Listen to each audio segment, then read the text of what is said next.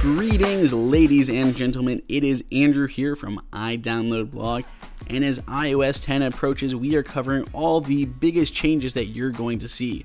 So, in this video, we're going to talk about the phone. So, first up is VoIP calls or voice over IP, and that's things like WhatsApp. Now in iOS 10, those can actually show up on your lock screen and you can answer them just like a standard phone call. You can see there that was for WhatsApp.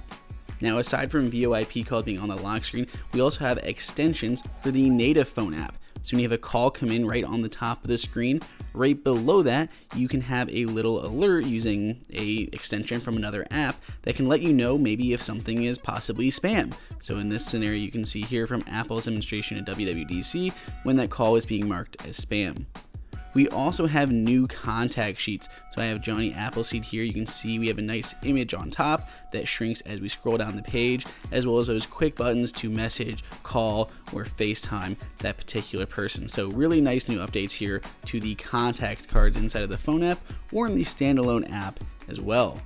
Now, aside from the phone and the contacts, the other big addition is new changes to voicemail, and that is actually transcription services. Obviously, Apple has been doing a lot of transcribing in the form of Siri, but now they're finally bringing that to the native voicemail app. So when somebody calls you, it'll now transcribe that into text. You can give Apple feedback of whether or not that was helpful or not helpful, and in my testing, it's been fairly solid. Now, it's not going to be perfect, but then again, none of them are. I've used HulloMail for a while as well as Google Voice, and neither of them were, you know, spot on. This did really well, and it only dropped out the name in this particular voicemail message. If there's anything that we forgot to mention about the phone app, or if you just want to let us know what you thought of the phone app altogether, let us know down in the comments iOS 10 will be dropping this fall for all eligible devices. Please go ahead and subscribe to keep up to date with all of our iOS 10 news as well as all the other OS updates Apple will be releasing as well.